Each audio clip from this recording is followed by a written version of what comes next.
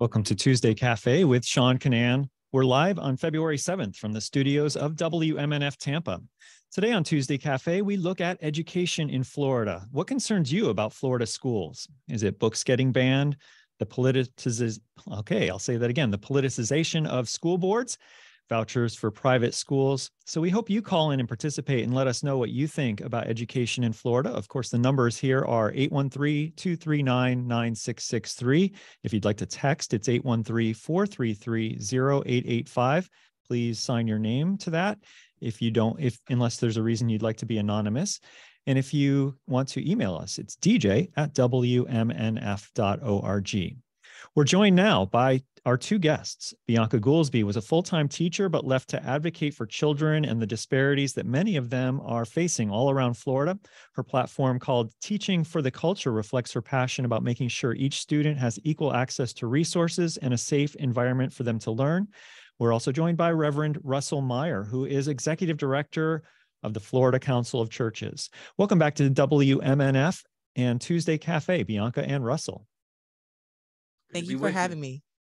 I appreciate both of you coming on, and I can't wait to have, have a great conversation about education with the two of you.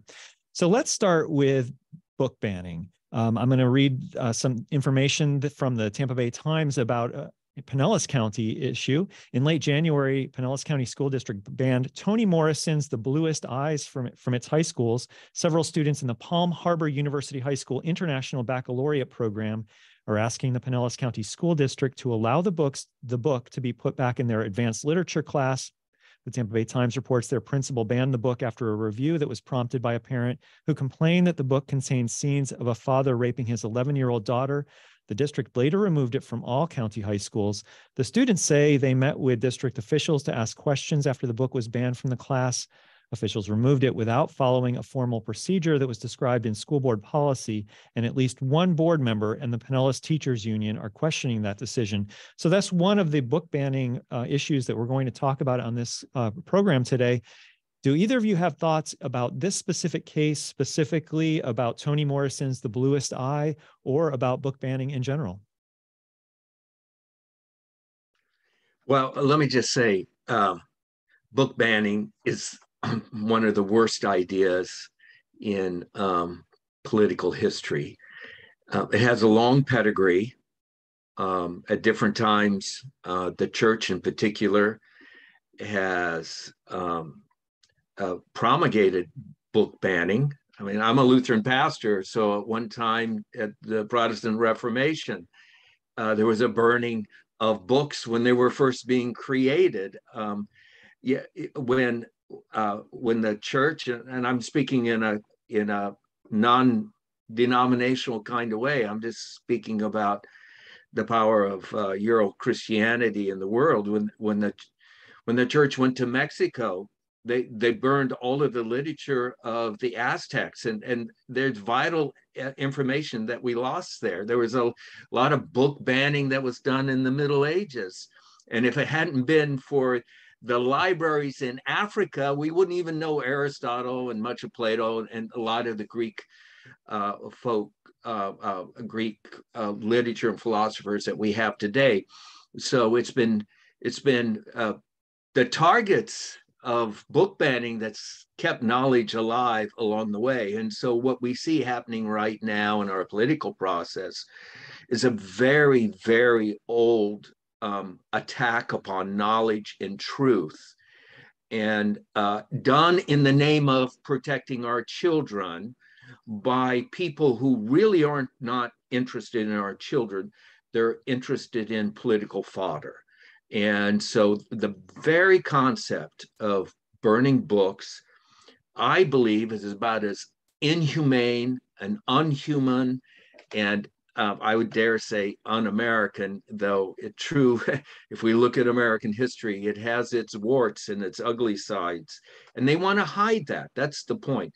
They want to hide from public view uh, the warts of America. And we cannot properly educate all of our children if unless we can see both the beauty of our nation as well as its ugliness. Bianca, can you weigh in on book banning? Absolutely. So, this past weekend, my wife hosted an education town hall, which people came to talk about just what we're talking about now the state of public education in particular. And we had school board member Caprice Edmond that attended and actually talked about this particular situation. And all my comments are going to be is I hope that Pinellas County Schools is listening that if you are going to follow procedures, it needs to be done with fidelity and there needs to be accountability, transparency, and integrity when we are having these book bans, because what's happening is we have selective outrage and participation. And so if we're going to protect our children, we also need to protect them from the internet that they have access to and the apps that our children are participating in. But also, if we're going to talk about certain books, we need to look at all the books if we're if we're going to really talk about it. And I, I just really think that this is all just um, noise and distractions on the real issue, which is the underfunding of public education, right. particularly with HB1 that's coming down the pipeline. Right. And be rest assured, we will definitely talk about funding and especially about HB1 during this show. I want to point out to people that that was Bianca Goolsby, an education advocate with Teaching for the Culture. And re- we are also speaking with Reverend Russell Meyer, Executive Director of the Florida Council of Churches.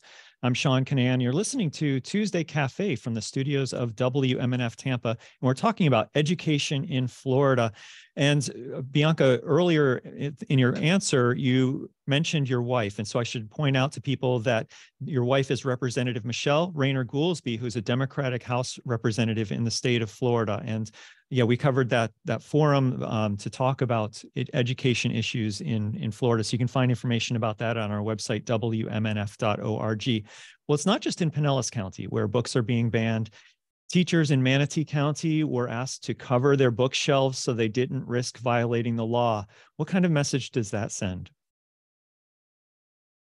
It sends a message that we are just not really focused on the issue the way that our educators have to literally cover up their bookshelves I, the photos that are on social media is just wild to see because we are shielding books away from our children but have we even paid attention to our literacy rate have we paid attention to the latest FSA data where most of our children are not even reading on grade level? So I just find all of this banter just selective outrage and participation because our kids are not even reading on grade level in the state of Florida. So, what are we going to do to address that? Absolutely, uh. Um, she says it so well. Uh, how can you teach reading if you don't have books in the classroom? And teachers across the state in, in almost every district, every district I'm aware of, have, have been told to cover up their books. Many teachers buy books out of their own personal funds in order to enrich the education because we're so underfunded in our schools, right? And so they're supposed to teach reading, but they can't use literature to teach reading. Uh, uh so uh, this, and they've been told that until a title has been approved by the district, they risk felony prosecution for letting children see it. Uh, uh, this is crazy. And it's the craziness and the cruelty that seems to be the point right now. It's it's creating chaos, and the chaos is intentional. It it's a political theory that comes out of Eastern Europe, about uh, how to take control of a country. So the chaos is a is is part of the point. and the sad point is, I think some of the people who have been um, recruited to make these complaints about literature really haven't done their homework on what's being asked of them. Before we move away from book bans to other parts of education, it, let's move down to Sarasota because we're going to hear a story here about the Sarasota School Board is scheduled to decide today on whether to ban a book about anti-racism from school libraries. So here's a story from Kerry Sheridan who reports the challenge is the first of its kind in Sarasota against a book that's not used for classroom instruction. The book in question is called Stamped Racism, Anti Racism, and You by Jason Reynolds and Ibram X. Kendi. The challenge came in May last year from the mother of a Venice middle school student. Her complaint alleges that the book teaches that all white people are inherently racist and that allowing it in schools is akin to allowing books that support Nazi ideology. A review committee comprised of media specialists, school principals, teachers, and parents ruled in November that the book does not violate Florida laws. The committee recommended it stay available in middle and high school libraries, while the parent wants it removed from all school libraries. The school board meets Tuesday at noon to hear more and decide. I'm Kerry Sheridan in Sarasota. So Bianca, I'd like your uh, your uh, response to that. I, have read that book. It's a fantastic book by Ibram X. Kennedy. I, I hope I wish that that my uh, daughter would read it. Um, I wish that all students would read it. Uh, it's a fantastic book by Ibram X. Kendi and uh, the, we heard there that um, that it, it, it's equated it's it'd be similar to having a book about a, by a nazi. Uh, uh, what's going on there bianca? I, I just keep going back to selective outrage and participation. There there's just no words that i can accurately say on the radio that will describe my feeling about this. I just think that we have just been so politicized. We have been using social media as echo, um, echo chambers. We are just not thinking intentionally when we are reading books and the actual overall message of these books. And so I just really pray for our nation and I really pray for the individuals making these decisions. But I, I, I I'm just mind blown at the way that these conversations have continued to just plague our nation where i just i just don't see us moving forward. I see us going backwards. Hmm. dr meyer. Well um, it's unfortunate that um, what are obvious lies and misrepresentations are being given uh, a court of of judgment. Uh, you know if if they brought these charges to an actual court, um, they would be thrown out not only as frivolous, but they would be held in contempt for wasting the court's time. Unfortunately, we don't have those kinds of strict legal standards when we go before district boards. And what's th- these accusations are actually projections of what they themselves are doing. Um, it, if you look at the practices of National Socialism in Germany in the 30s and 40s, these are the very things that they were doing in, in trying to throw out literature and, and artists and performers and etc. Not only that, National Socialism studied uh, how enslavement was enacted in American laws and then tried to place that into German laws. And, and and what Stamped does, uh, what what this book does, is expose that. It it exposes that kind of history, and so this is telling a lie to uh, cover up your own misdeeds. And I wish that district school boards had the kind of strict legalities in not having to entertain these kinds of opinions. Our guests are Dr. Reverend Russell Meyer, Executive Director of the Florida Council of Churches, and Bianca Goolsby, an education advocate with Teaching for the Culture.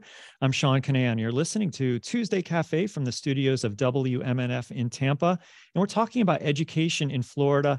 Steve writes in and correctly uh, corrects my pronunciation. It's Ibram X. Kendi. I, I, mispronounced it apparently when, when I was uh, winging it a minute ago. And Jane writes in, she says, I believe that banning books actually brings attention to that book and increases interest and sales. So what do you guys think about that, that point that Jane writes about?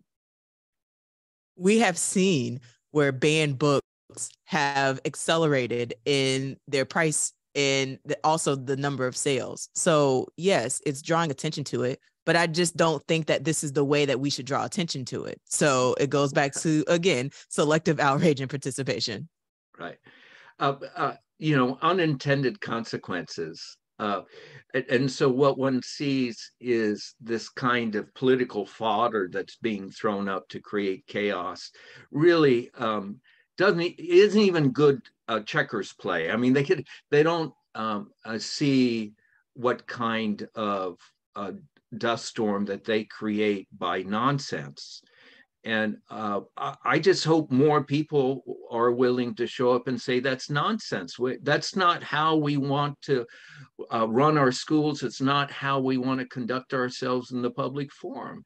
Um, so, uh, but there's there's deep pockets and dark money that's pushing this stuff for uh, larger political objectives, and and as long as they can distract from these other kinds of larger uh, political objectives, we're not spending the energy on creating a strong and prosperous democracy.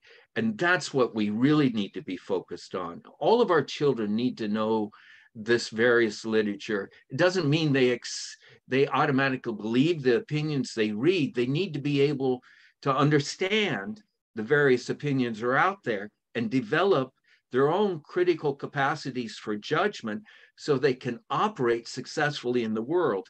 That's what's being removed from our children. We should be very clear that when we start banning these books that people don't like, what they're saying is you can't know that opinion, you can't study that opinion, you can't form judgments of that opinion, you cannot have judgments of your own. So let's be very clear. They're saying to our children that our children should not be taught to think.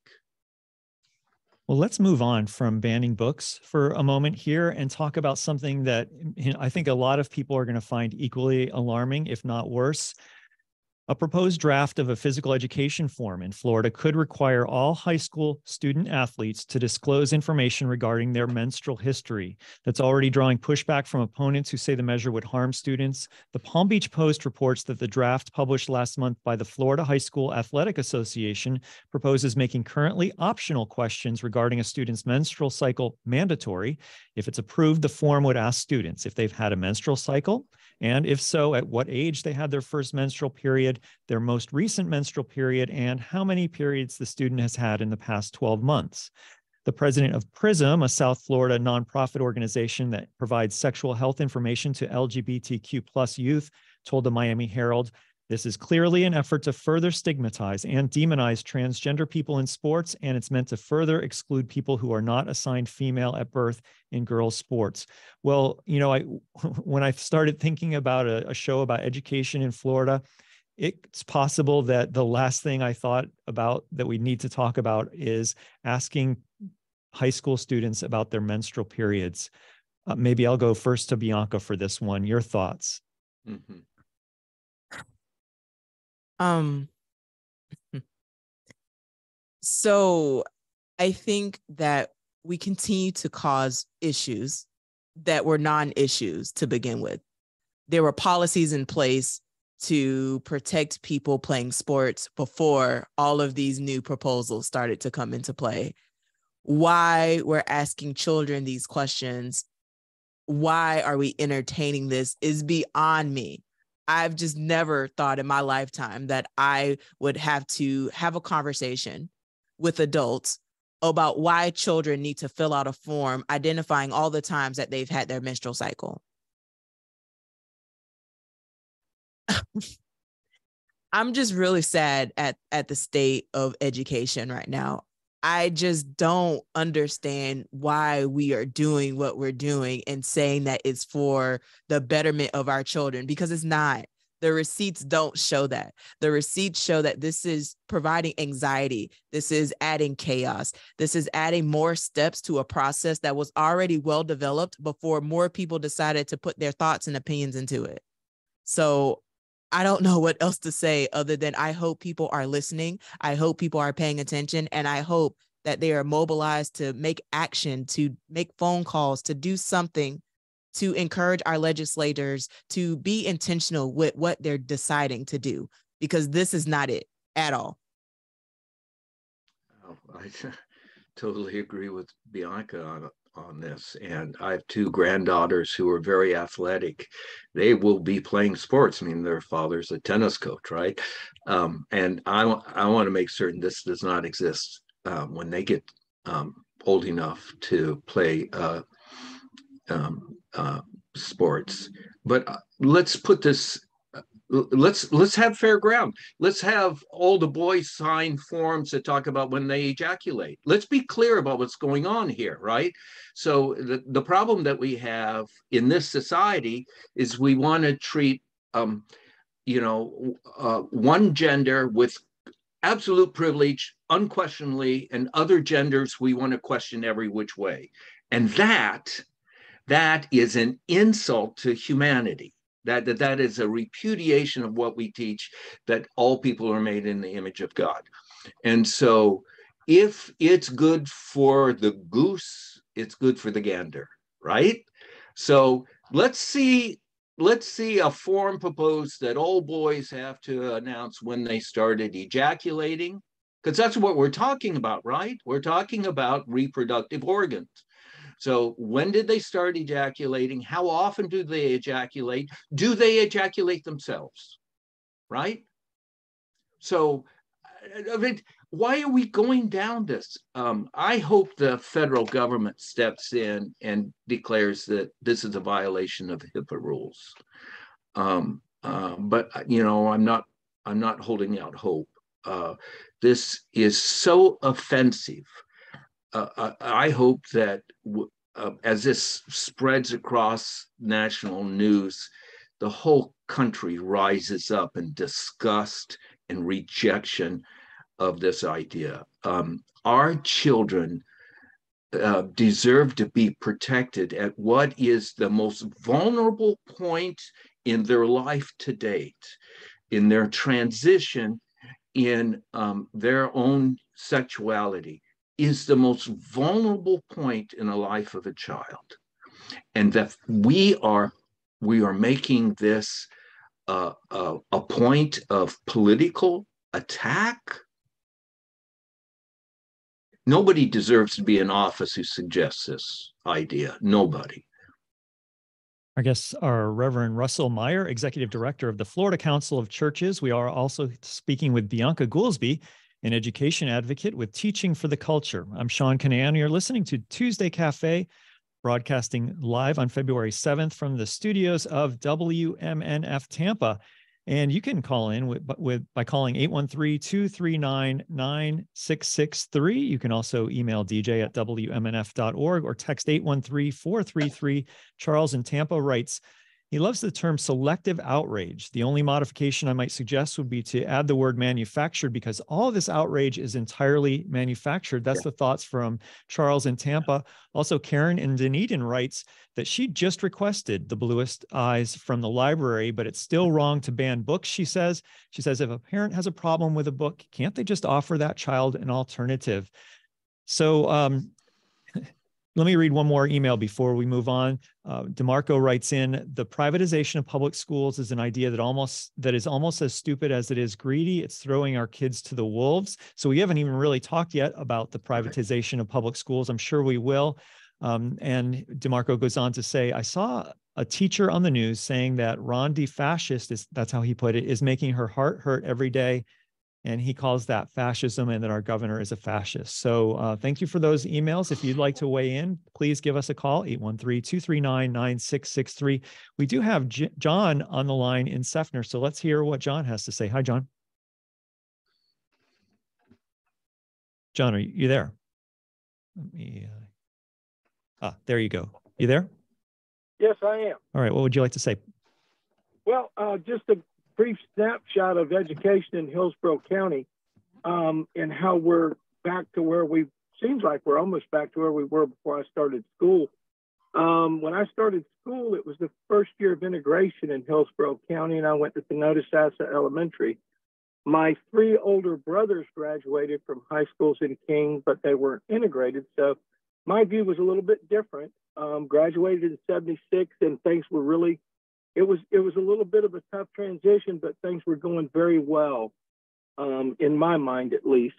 And here I turn around twice, and all of a sudden I'm 65, and it's like we're back to where we were when I was watching the news as a young kid growing up with all these different groups getting attacked by a group. And um, y'all touched on a little bit. This is more broad than just gay uh, and race it's class. It's class warfare. and our governor and to a large degree our legislature in Florida is bought into it. And and there's 49 other states at least, or many other states that should be looking at Florida and Florida's educational system as the example of what not to do.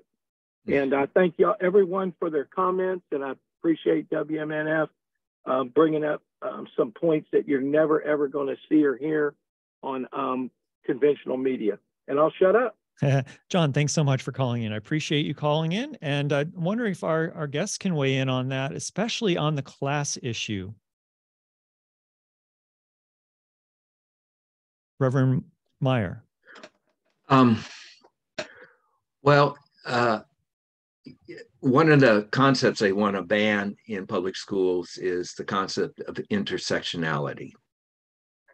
Um, and uh, it's it's it's very hard when you look at the data to separate uh, class and race in neat categories. Um, and so, yes, there's a class side of it. Um, and if you just if you just look at basic economic um, uh, data put out by the United Way, I hope that's a credible, trusted source. Almost one out of two households can barely make ends meet at the end of the month.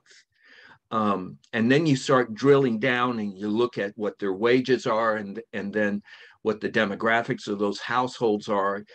And it becomes um, a, a, gloomier and gloomier prospect depending on, on your skin color, right? Um, and that's all the outcomes of public policies. Um, and and uh, the the folks who've been running Florida for a long time know that, and they are intentionally doubling down on the policies. I, I want to go back to what the um, caller was just talking about in his memory of where we started, um, which is uh, 1954, uh, Brown versus the Board of Topeka, the decision that um, separate is not equal, that public schools uh, should be desegregated. And what we're seeing right now um, in the privatization of public schools is, is two things. One is to convince parents by way of choice to surrender their child's civil rights. I just want you to think about that. What, as a parent, why would I surrender my child's civil rights? But that is what happens when you take voucher money and you leave the public school system, you go to a private school, you are giving up your child's civil rights to a high quality public education. Um, but secondly, in, in then doing that, education becomes resegregated. And the data shows this that uh, private schools, and to some extent, even charter schools, end up resegregating education and reinstalling the doctrine of um, separate but not equal. Um, and, and that is being done when uh, private investors on the outside are making money off of the privatization of schools. So uh, there is very much a real sense in which we are turning the clock back fast in Florida, and it does have race and class marked all over it. Bianca Goolsby more on the intersectionality aspect and also about funding. Yeah, so we see that Florida has been on national news about the state of education. Education is a great equalizer. So now we understand why there's a war on education. We also understand that the failure of education is big business. And the failure is actually the reason why there is so much money that is being pumped through the system. So there's a profit in the problem. So until we address that problem and the profit that's being made from that problem, there are so many unfunded mandates that are in place where it's forcing some of our districts not to be able to meet their operation expenses. We're talking about Hillsborough, for example. Right. They are still not paying their educators what they've promised to pay because they were at a deficit and is still under state oversight due to their finances. So we have to look at all of it. We need to follow the money. We need to hold people accountable and we need to demand more because our children deserve better. That's Bianca Goolsby, an education advocate with Teaching for the Culture. And Reverend Russell Meyer is our other guest. He's executive director of the Florida Council of Churches. I'm Sean Kinane.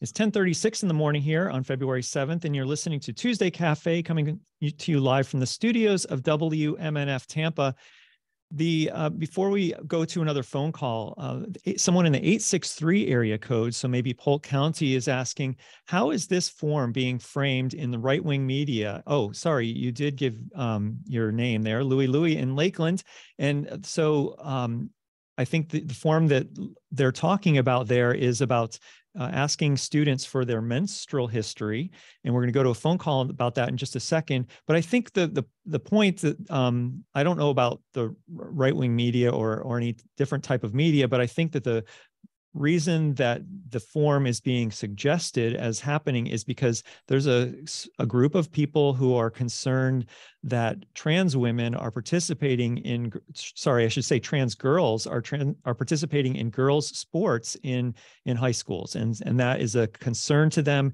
and they think that if they fill out this form that they'll crack down on on that. Um, that's my understanding of why it's even an issue but of course we've we've talked about the concerns and we have someone in st petersburg kimberly who wants to weigh in on this issue. So hi kimberly what are your thoughts?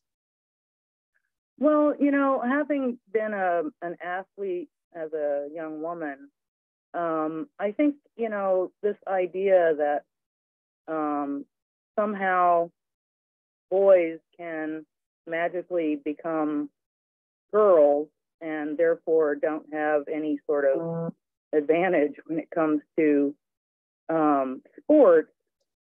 I mean, I just, you know, that just is, um, you know, that that kind of notion um, to me is really magical thinking. Uh, having actually been a girl uh, before girls' sports was even a thing, and uh, you know, I really think that Title IX and everything was designed to to protect girls and women and give them opportunities. And you know, I appreciate that there are, are some some boys out there that are you know obviously confused about their bodies, and you know there is a, a well financed uh, school curriculum, as, as I'm sure you're aware. With uh, I think it starts in kindergarten in most states. Um, that basically, you know, puts this notion into you know kids' heads I'm actually not familiar with that, Kimberly. Let's see if our, our guests who know about the education system can tell us about that. So there's a lot there, Bianca. Um, uh, Kimberly is suggesting that there's a, a, curriculum to put the notion of um, of people becoming, you know, of people being trans in the, the school curriculum beginning at kindergarten. That doesn't sound right to me, but I'm not as an education expert like you are. So no, I, I haven't personally seen it. There's a quote that I live by, and it's people lie, receipts don't. So if there are any receipts that can show that, I would love to see it. I haven't seen any, so that's my comment to that. And this whole idea that um, that there are boys becoming uh, becoming girls in order to play uh, girls sports in high school. I I just I don't I think that even just the phrasing of that question is is I, I can't answer that because the way that gender is so fluid and the way that we as humans have decided to frame things as so concrete and we have selective outrage on what's concrete and what's not like that is the root of of this I, I don't I don't have any comments uh, about that in particular. I just want people to understand that when they come on public platforms to speak mm-hmm. on issues, it's really important that they have the receipts to back up what they say because that's how misinformation spreads. That's how fear and chaos spreads, and that is not what we need right now. Russell Meyer. Well, um, Bianca talked about the fluidity of human sexuality, and it exists on a long continuum. And for for a long time, we wanted to take the idealized ends and say that's where everybody is, but we all know that's not where everybody is. And for uh, for a long time we created laws based upon the idealized side in western society. But other societies never that uh, other societies always recognize the fluidity of human sexuality. And so we're now at the point where because of how we've come to learn from others than ourselves. And we're not just looking in the mirror and saying all knowledge is already present in us. We're learning from others. We're beginning to understand human sexuality in much uh, greater depth and breadth than we ever did beforehand. Um, and so the idealizing uh, boys and girls doesn't serve any single child, doesn't serve any boy or any girl or any trans child. It, it just simply doesn't. It does them harm when we do that. Um, it, it makes them try and become something that they are not already. So we all live on this continuum and becoming uh, gaining the capacity to understand where you are on that continu- continuum and be able to relate to other people wherever they are on the continuum, that's called maturity. And that's, I think, what we want to teach our children along the way. And so, whatever literature is in the public school is all about teaching children um, the maturity of respect and dignity of the other person, right? Now, to the question of sports, the statistical probabilities of how many um, trans girls would actually be playing sports in Florida uh, high schools um, is what, maybe 12 a year? Uh, or that's the number I heard at a committee testimony uh, a year or so ago. So we're talking about forcing a million students to go through deep personal um, invasion of privacy for uh, an, a, a, fractional possibility. This is scapegoating.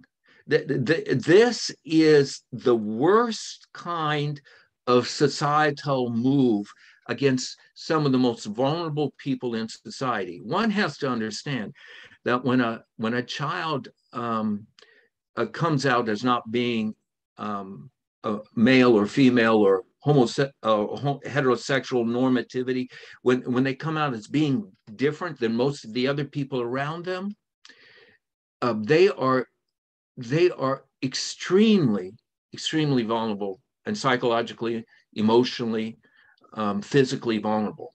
The kinds of harm that are done um, to children and youth because they are coming to understand their um, sexuality is of great concern to me.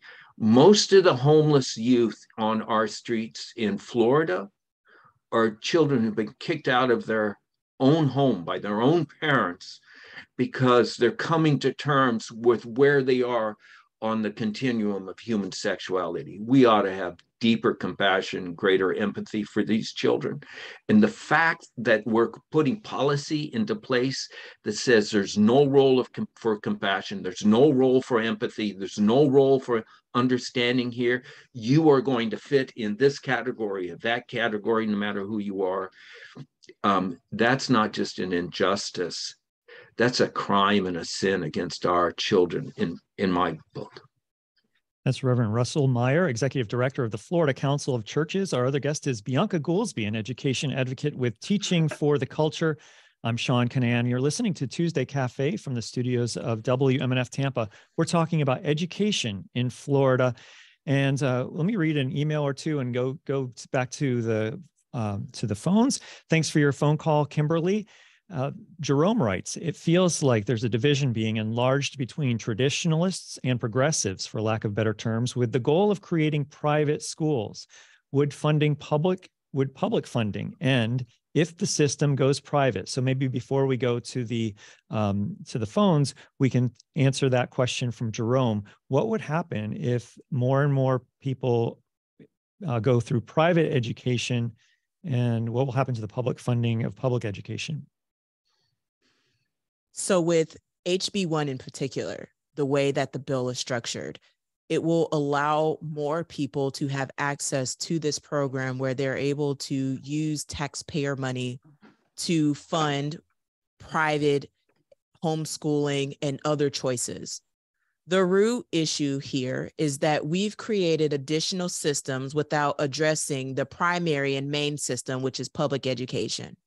So we are highlighting all the choices that we have. And I'm all for choice. I believe that everyone should have a choice. However, public education should be the premier choice since the taxpayers are paying and funding that system.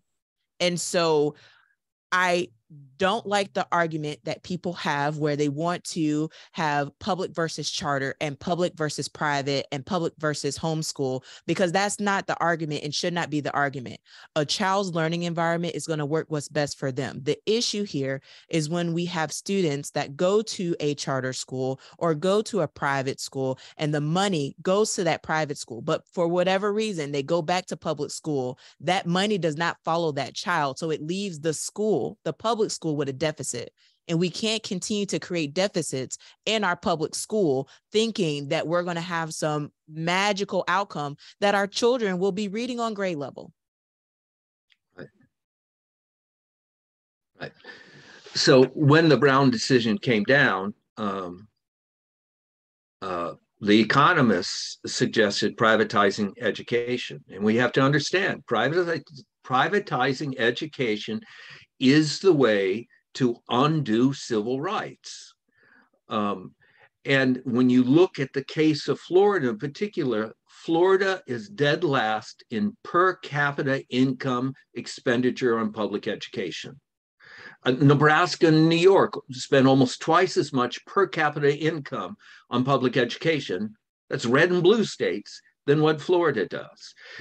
Florida's basic issue in education right now is we're only spending 50 cents on the dollar that it costs. So when a parent chooses to take the uh, take the public money and, and, go for a private education, the, the, business model for schools is the same business models for colleges and universities. That eight to ten thousand dollars, depending upon uh, what your child's needs are, are not enough for what what uh, real market based uh, tuition actually is. So uh, when you take that money out of the public schools, you then have to add to it, right?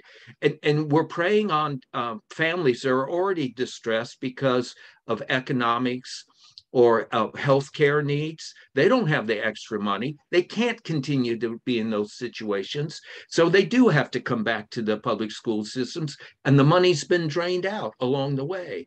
So the first thing that the legislature should do is double what they're putting into education. And you know what? We got $17 billion sitting in the bank. They could do it tomorrow, right? So let's talk, first of all, about adequately funding education. We can then argue about where your child needs to have the best education. But the history of where we got to where we are right now is that uh, Jeb Bush, when he was governor, started saying, let's take disability students out, give them a scholarship. We need to understand that the civil rights of disability students weren't being met. And, and the cheapest way for the state to get around their civil rights was to push them out of the system.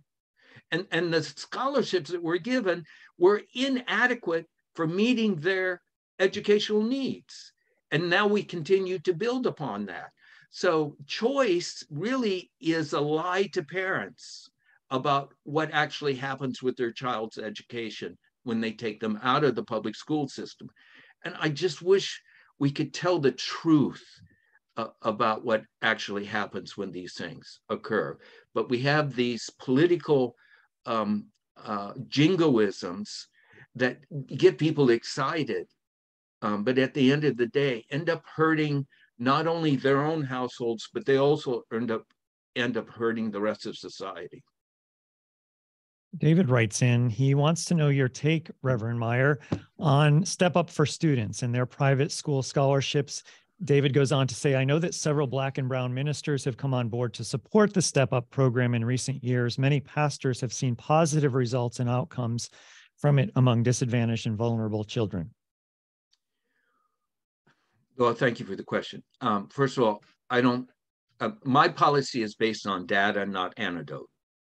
and so any given you know i could tell you a success story in any situation because you know human beings are wonderful resilient creatures and they can make any opportunity come out of nothing right because god's given us that capacity so i'm not looking at any one particular stories whether it's successful or not i'm looking at the whole right and um, on the whole, let's look at it. Step Up for Success has become something like the seventh largest uh, nonprofit in the United States in the time that it has existed. Um, it, it is now, it, it gets to keep 3% of all the tax deferred money that goes into these scholarships. It is now a $300 million a year enterprise that they get to keep in house. That's $300 million that's not going into public education. That's going into private pro, uh, uh, pockets. Um, they, they have a huge lobbying um, uh, uh, bank account. Um, they, they, they drill the system. It, within their system are uh, something like 1,500 schools that are not accredited. And, and so if a student goes to one of those schools that's not accredited, they get a, a diploma and they try to go to college or tech school and they're told, sorry, you don't qualify. This, this piece of paper doesn't qualify for admittance. They have to go and get a GED then. So, so there is no regulation on Step Up for Success. There's no regulation on these schools. There's no guarantee that the education that's actually being delivered is an education that student can use to further their life. Why? Why in the world would we allow the transfer of public assets to a product that cannot that cannot actually give a child what a child needs in order to succeed? Why would we do that? What, what kind of human beings are we that uh, we would misuse their trust this way? Reverend Russell Myers, Executive Director of the Florida Council of Churches. We also have Bianca Goolsby, an education advocate with Teaching for the Culture. Let's turn now to education, higher education, public higher ed in Florida. And uh, we have a question here from Bubba who says, I'm worried about the hostile takeover of New College of Florida. Alumni and students are fighting back. He says, check out savenewcollege.org. So, Bianca, your thoughts on New College of Florida and what the governor and the, his administration is is trying to do there, and is I guess trying is probably not even the right word. They're successfully instituting big changes very quickly. They are doing it, and and Richard Corcoran, which was the commissioner of education, um, is is right there. I, I mean, you. I hope people are listening. The governor is deciding to make decisions to remove people in office to put who he wants in office against what people believe is right. The governor is making these decisions that are harming our higher institutions, our post secondary education, all, all all the way down. And so I hope that the listeners that are listening to this are outraged at what's happening. I hope that they are just not outraged, but do something. Please do something because because we need help. And we can't keep just talking about our governor is awful when we had ballots that weren't even turned in when it was election time. So that's why I keep repeating selective outrage and participation. We cannot be outraged what Governor Ron DeSantis is doing when we can't even turn in our ballots to make sure that he's not back in office. So that's my comment. Reverend Meyer? Um, the governor is being uh, advised by um, a small uh, school in the upper uh, Midwest uh, that uh, trumpets white Christian nationalism and is being advised by uh, a, a, policy wonk um, out of New York who's decided that uh, critical race theory um, is is the evil destroying everything um, and and can even give an adequate definition of what it is that he's attacking, right? Um, and they want to make New College as the white Christian nationalist school of the South. Should be, I, am a, I, you know, we should call a thing what a thing is. And what this is trying to do is establish a foothold in the Florida public university system of creating a school that that gives degrees in white supremacy. This is offensive. Should be offensive to every Christian, should be offensive to every non Christian, should be offensive to anybody who uh, treasures the First Amendment about the freedom of religion. We should not be taking a public asset and turning it in to a, a, a bullhorn for some of the most odious uh, political ideas in our history. Uh, we should call a stop to it. You're listening to WMNF Tampa 88.5 FM. This is Tuesday Cafe. I'm Sean Kinane. Our guests are Russell Meyer, Executive Director of the Florida Council of Churches, and Bianca Goolsby, an education advocate with Teaching for the Culture. So much education stuff to, to still talk about. Bianca, let me ask you um, about the AP African American History course. It was taught uh, at at least one school in Florida as a pilot. And then the governor uh, and his uh, administration got really upset at it. And then the college board actually ended up changing it. So, what are your thoughts on everything that's happened with with that course? So it just highlights the bigger issue where we have a governor that can use his political power to alter what is supposed to be taught I my comments is directed to College Board at this point because College Board is a nonprofit. They generate a lot of money. The same institution that systemically uses the standardized testing where Black and Brown children are not able to get access into colleges is the same institution that is um, literally stripping away the teachings of African American history. So, College Board, we are looking to you as people like, what, what are y'all doing? What are y'all doing, College Board? I, I think that there needs to be more governors that speak up about this. There needs to be more legislators that speak up about how a governor can use his political influence to alter a decision of a nonprofit. And why we are having this conversation and this debate still is beyond me, where we still have people intermixing CRT, critical race theory, and is very adamantly clear that is not taught in our schools. And no matter how many times we frame it, say it, there are going to be people that still think that. And we can't change those decisions. We can't change the minds of those people that are just holding on to misinformation. But what we can do is what we can advocate to ensure that College Board actually gets vetted to ensure that they're actually being a actual nonprofit that they're conducting business in a way that is above board that they have accountability transparency and integrity in their process. It has to be. So i'm holding college board accountable at the end of the day because this is the decision that they made. And ultimately i with the amount of children that are not able to even have college opportunities and or being placed in advanced placement courses that is a whole nother conversation. Reverend dr russell meyer ap African American history? Well, I would have kept the beta program. I don't think it needed to be changed. Um, but we have to understand in um, in the education publishing business, um, scale and size matters. So there are a lot of things in curriculum that um, get skipped over, get shaved, get shaded based upon uh, volume sales out of Texas and Florida. And so we had some curriculum fights um, previously over school texts. I mean, right now they've rewritten they've rewritten uh, civics to take the word democracy out of teaching civics. So we've got a lot of problems, and it it because it's big dollars. College Board is chasing the dollars, not the truth. Well, I want to thank you so much for coming on WMNF's Tuesday Cafe today, Russell and Bianca.